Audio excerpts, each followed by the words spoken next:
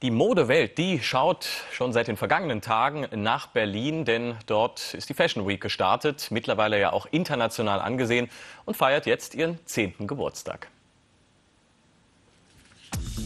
Vier Tage Mode, Berliner Fashion Week zum 10. Die Modetage der Hauptstadt haben auch in diesem Jahr wieder für Superlative gesorgt. Mehr als 200.000 Besucher, 2.500 Modeschöpfer, rund 50 Laufstegschauen, gleich mehrere Fachmessen und unzählbar viele Trends für Herbst-Winter gab es zu bestaunen.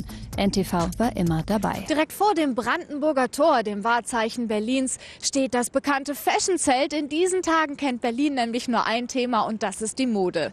An die 40 Shows finden hier hinter mir statt. Den Anfang macht das Label Escada Sport und den Abschluss bildet Michael Michalski mit seiner legendären Style Night. Aber auch kleine Labels bekommen hier ihre Chance, die Kollektionen für den nächsten Herbst-Winter 2013 zu zeigen. Auf geht's zu Escada Sport, denn dieses weltbekannte Label übernimmt in diesem Jahr die Eröffnungsshow. Von Routine ist kurz vorher hinter der Bühne allerdings keine Rede. Die Designerin nimmt sich trotzdem noch kurz die Zeit, um mit unserer Reporterin Tanja Bülter zu sprechen. Der Adrenalinspiegel steigt stetig. Jetzt, wo alle Models sich schon anziehen, das kann ich gar nicht sehen, da wäre ich total nervös. Aber jetzt kann man eh nichts mehr ändern, so ungefähr.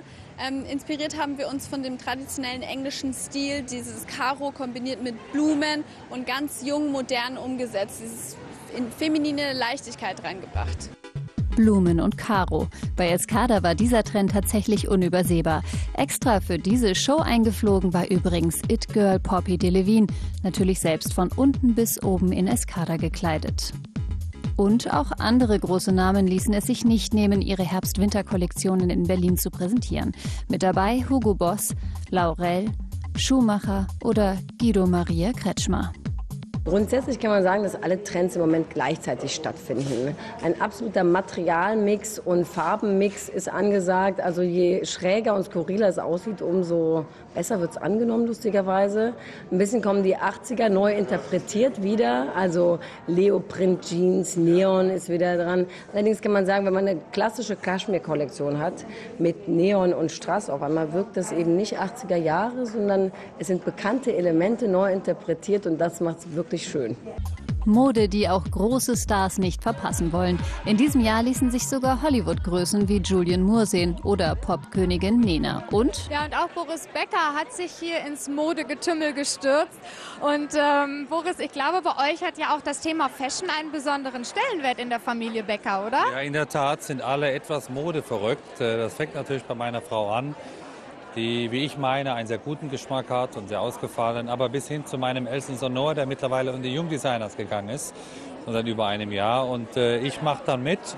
Mode ist auch für mich interessant und ich habe mich auch über die letzten 25 Jahre modisch zumindest sehr verändert.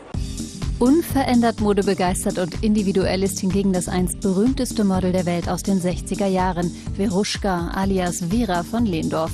Mit 72 Jahren war sie definitiv das älteste Model auf der Fashion Week und sie war nicht zu übersehen auf dem Laufsteg von Anja Gockel. Dem kritischen Blick von NTV-Gesicht Tanja Bülter hielt ihre Einlage stand und auch sie selbst war ganz begeistert. Ich habe es eigentlich immer anders gemacht als die anderen. Wie gesagt, ich habe mich da eingemischt. Das machte an sich sonst keiner. Äh, aber ich fand, dass die Models damals sehr viel individualer waren. Vom ältesten Model der Fashion Week zur weltgrößten Jeansmesse. Wir haben eingecheckt auf der Bread and Butter, der weltweit größten Denimwear Modemesse und die befindet sich, wie man sehen kann, auf dem stillgelegten Flughafen Tempelhof. Auf insgesamt 90.000 Quadratmetern kann man hier die nächsten Kollektionen für Herbst-Winter in Sachen Streetwear bewundern. Das hat Tanja ausgiebig getan. 600 Marken buhlten um die Aufmerksamkeit der Kunden aus aller Welt mit teils skurrilen Dingen. Da muss man sich schon etwas einfallen lassen, um bei der Flut von Ständen und Besuchern nicht unterzugehen. Die einen versuchen das so, die anderen gleich mit einer ganzen Eisbahn. Sportliche Betätigung gehört bei einer Street- und Sportswear-Messe natürlich dazu. Zurück zur Fashion Week. Die soll in erster Linie auch eine Plattform für kleine Labels sein, wie zum Beispiel Mila Miyahara, ein Label, das vor allem tragbare Mode präsentierte. Oder ebenfalls aus Berlin Ali Thompson mit klassisch eleganter Abendmode. Bei so viel Programm muss auch mal Zeit zum entspannten Shampoos trinken sein. Grazia hat zum Frühstück geladen. Und hier werden zum Beispiel Plätzchen handgemacht, wirklich mit viel Liebe zum Detail. Das gibt es also nicht in Sachen Mode, sondern auf jeden Fall auch kulinarisch. Zu Gast sind hier unter anderem Sarah Nuro oder auch Monika Iwankang. Und die müssen gleich gehen, denn die nächste Show ruft ja wieder. Bei der lässt sich auch Berlins Bürgermeister gern einmal blicken. Abseits von Glamour und Party ist die Fashion Week für das klamme Berlin nämlich gerade aus wirtschaftlicher Sicht sehr wichtig geworden. Die Taxifahrer haben echt viel zu tun und ein Hotelzimmer zu kriegen kriegen jetzt gerade, wo auch noch parallel die Grüne Woche läuft, ist schon sehr, sehr schwierig, trotzdem wir wieder neue Betten geschaffen haben. Also, äh, Mode hat sich etabliert, ist ein riesiger Wirtschaftsfaktor. Dafür sorgt auch die Premium-Modemesse. Hier zeigen Designer vor allem High-End-Fashion, wie zum Beispiel das Label Wake, das mit einer Tasche mit zwei Gesichtern überzeugen will. Über 1000 Kollektionen werden hier präsentiert, ob Kleidung, Taschen oder Accessoires und auch Kurioses.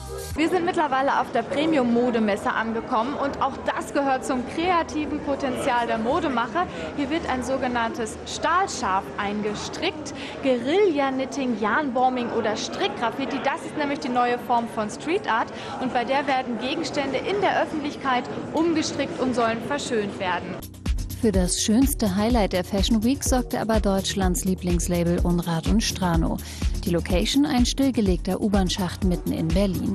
Top-Promis wie Katharina Witt und Verona Poth ließen sich diese atemberaubende Show nicht entgehen.